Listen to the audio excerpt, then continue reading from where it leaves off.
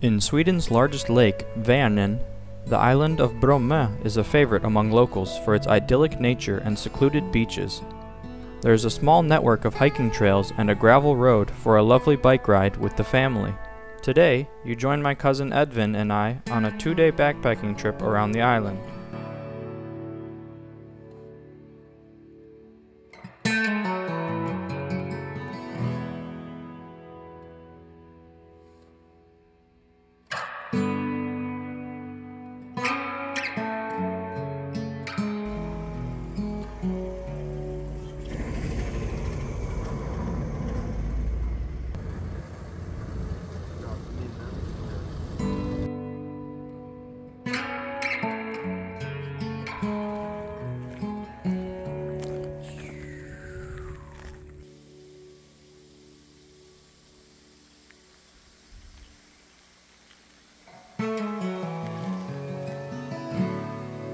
Howdy folks, Eric here from Norse American Adventures. I have my cousin Edvin with me today, or Edwin in English perhaps. We are out on Brommö doing a two-day backpacking trip and the mosquitoes are already out. So we're getting the bug spray on and then we're gonna get moving right away.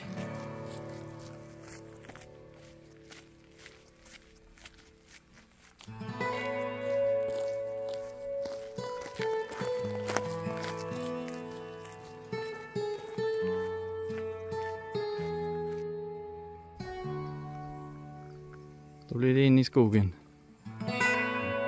Immediately on the forest trail and we found some blueberry bushes. Just pop them right in your mouth. Mmm, that's good. Little snack on the way.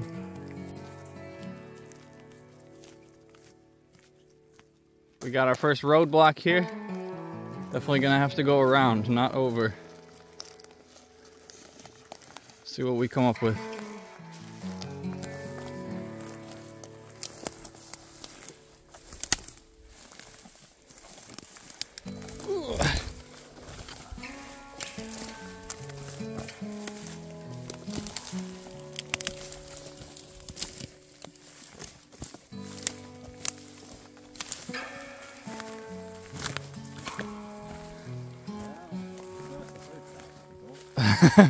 First of many.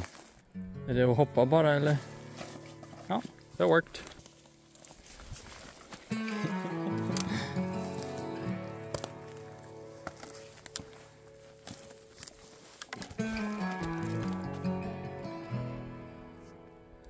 yeah, not ideal.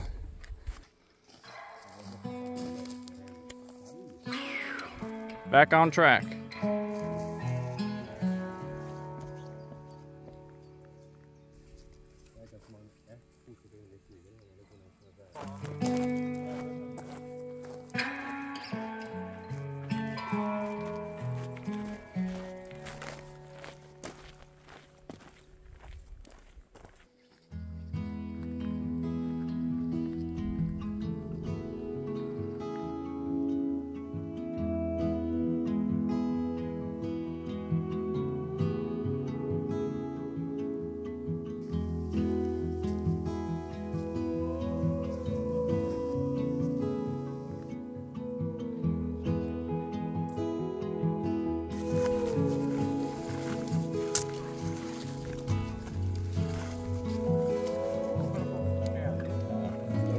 Lots of butterflies and and dragonflies.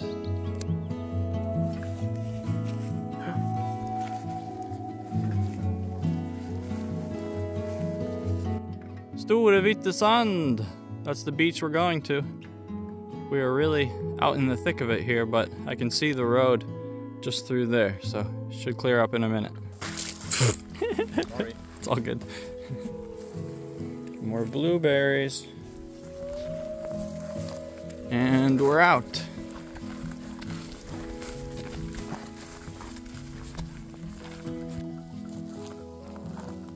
Camping spot here out in the forest. Some lawn chairs. And uh, is that a sandlåda?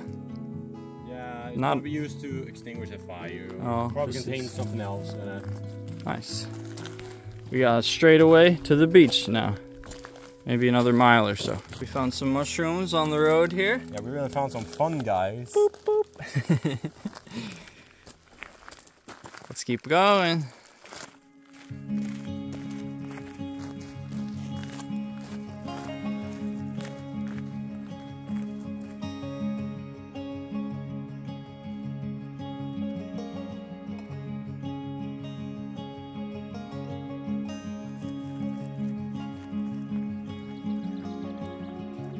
You can see there's some dark clouds in the distance here, and we just heard some thunder. We don't have far to the beach now, so we're just gonna keep at it. Definitely still gonna go swimming, but we might have to find a little bit of shelter if there's any rain coming down.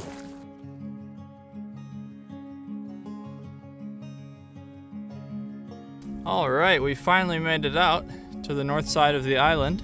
You can see Vänern beyond here. We are gonna follow along this trail just a little bit further to the beautiful Sturevita Sand, the great white sand, which is a nice beach. And we've made it into the beach. Let's check it out. It's a real beach. They call it Sturevita Sand for a reason. We might as well take this table here then we'll have a little bit of a, a, breeze coming in. Arriving at the beach, we decided to go for a dip before eating lunch.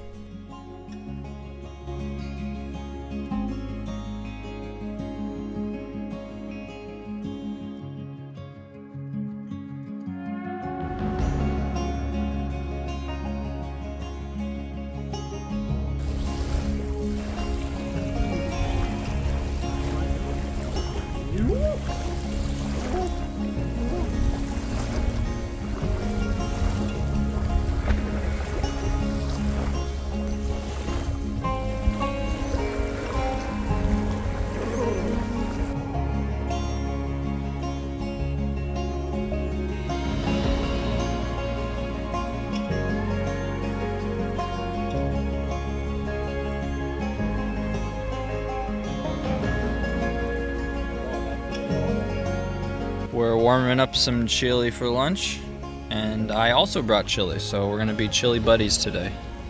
It was pretty cold in the water, maybe about 60, maybe even colder, who's to say? The beach is kind of nice. It was very refreshing, but it's nice that, yeah, there's a proper sand beach here.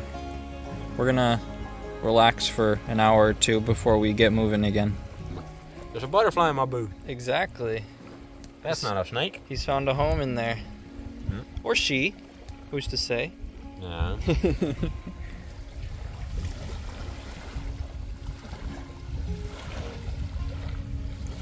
Beautiful view. Oh yeah. I was just finishing warming up my chili and you can see the rain started coming down. We've got our stuff under a tree over here. Edvin's got a proper rain cover. Here's the cloud in question. Bastard. Leave us alone. But yeah, we're we're expecting potential rain today, so it's not that big of a surprise. We're gonna Yeah, we'll see. We're gonna eat anyhow. We just had our lunch. It's like half an hour later now. The rain is really picking up. You can see the clouds are dark in the sky. We're gonna try and get moving again here so we can make it to the wind shelter, rain shelter for the night. Since it doesn't seem like it's gonna get a lot nicer anytime soon. So there's some birds over there. And there's also a cute little duck family. I don't think they're ducks. Oh, not ducks? I don't, I, I'm not really certain. Oh, look, they're all trying to eat right now. Yeah, I think they're dive. I think they fully die down. Ducks doesn't really do that. They just lift their butts up and they. det ser jättesött ut. yeah, of course. It's always that with kids.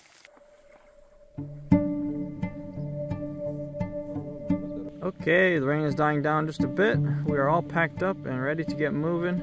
We only have another two miles or so to the wind shelter. And we're off. More mushrooms here growing amongst the moss right along the beach. It seems like there's a nice wind shelter here as well. It's quite nice actually, But that was not the intended. but not the one that we're going to be sleeping in tonight. So we're going to continue along the edge of the island for a bit and then wrap down south to Rykehamn, where our wind shelter is waiting. You can see. Boop. Follow the path. It just keeps raining. We've got a ways to go. Morale is high. We're just singing Swedish summer songs. A little bit ironic considering the weather, but that's life, baby. So the rain is really coming down.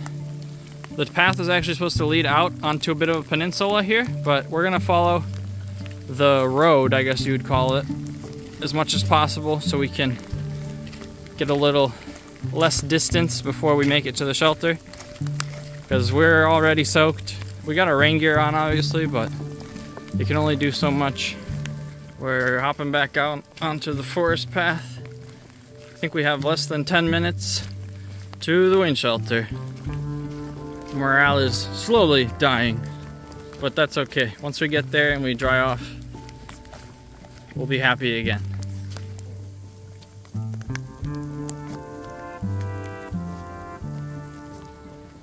Blame the weatherman. Curse you, weatherman. Got ourselves a sign. One one point two to Rykehamn. That is where the shelter is. That is where we are going. Another obstacle. We're going around instead of over, so we don't slip and fall.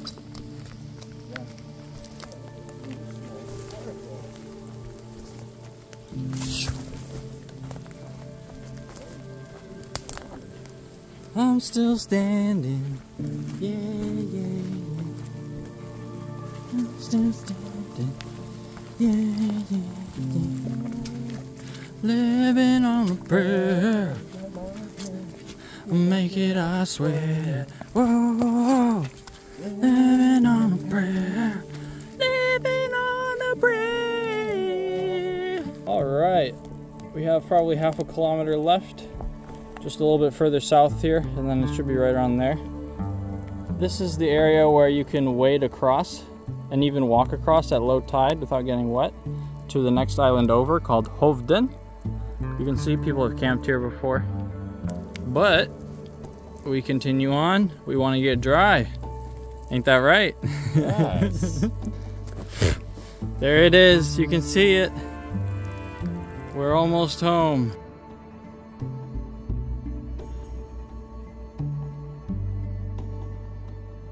That'll be nice.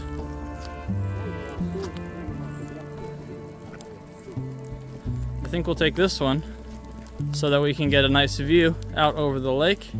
Yeah. Very roomy, very spacious. and best of all, you can actually be dry.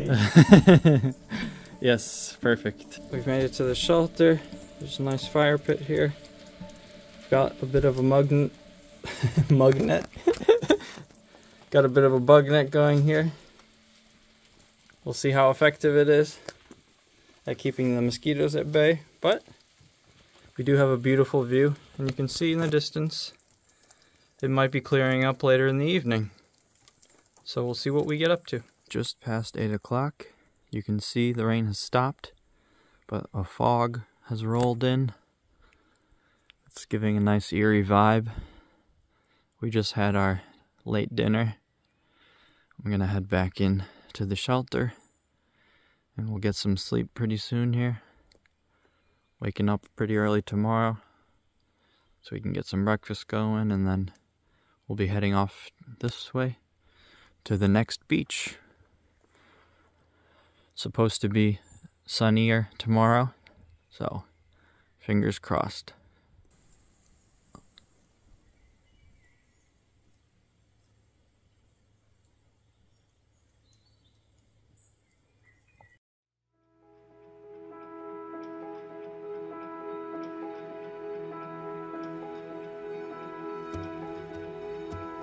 All right, it's about 9:30.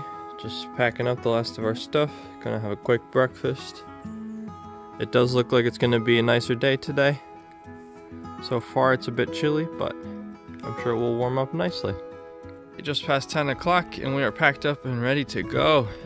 Just gonna throw some stuff out, conveniently located along the path. Then we continue along the way.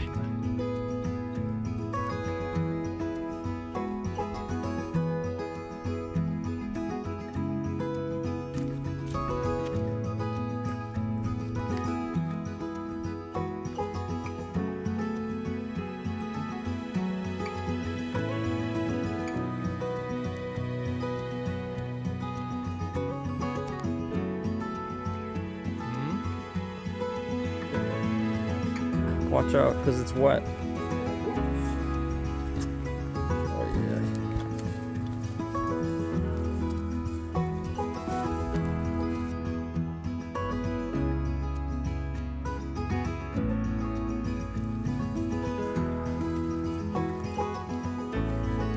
A lot of spider webs.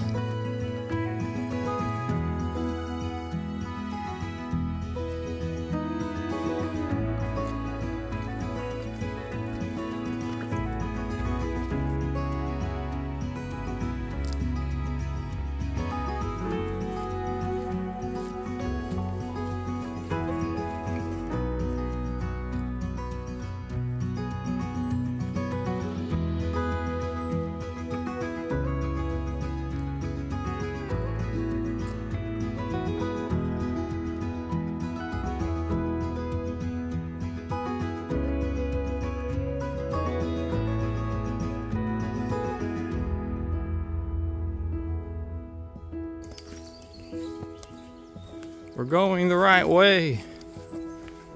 A little bit more of a swampland here.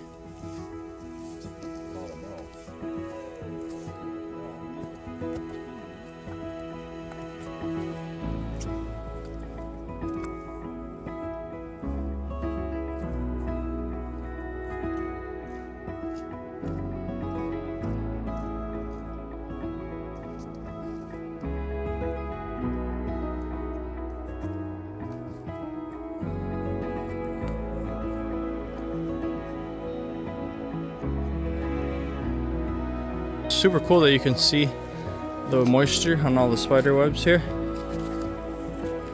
Very interesting effect.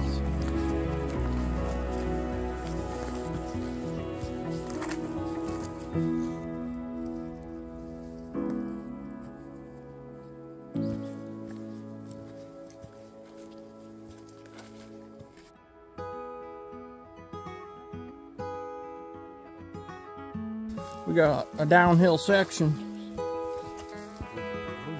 Mhm. Easy to slip for sure.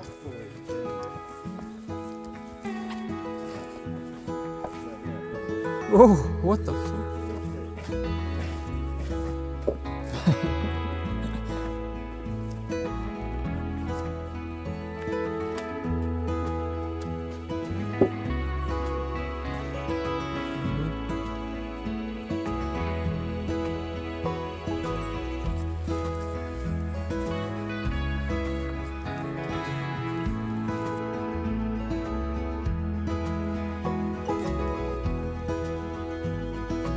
After making it down to Sandviken, we decided to enjoy a quick swim before continuing onwards.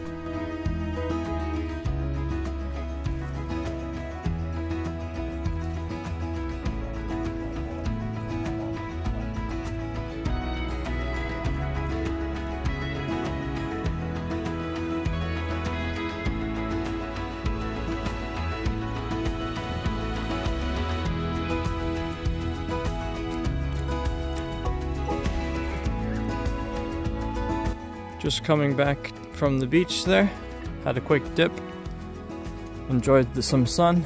Now we're heading back towards the ferry. We have maybe a mile, mile and a half max, and we have about an hour to get there, so should be plenty early for the ferry ride back.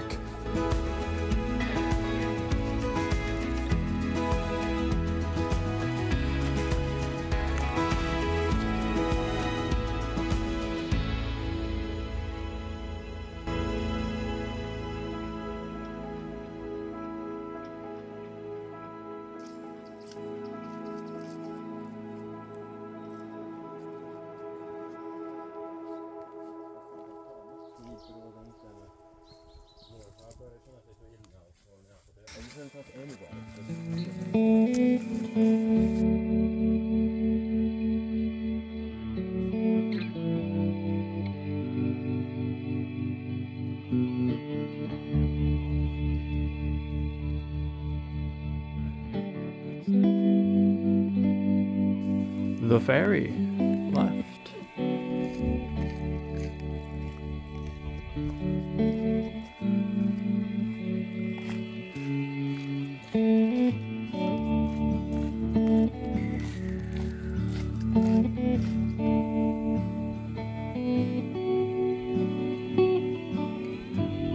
is a small museum beside the ferry which showcases the history of Brommö Island and Mariestad, the nearby city.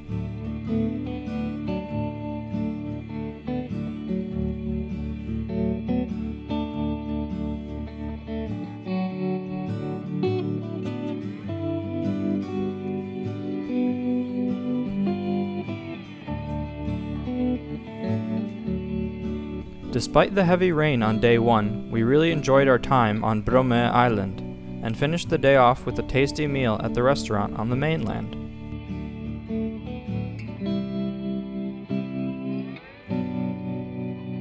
I had a räkmacka, or shrimp sandwich, which is one of my favorite things to eat in Sweden. Thanks for watching!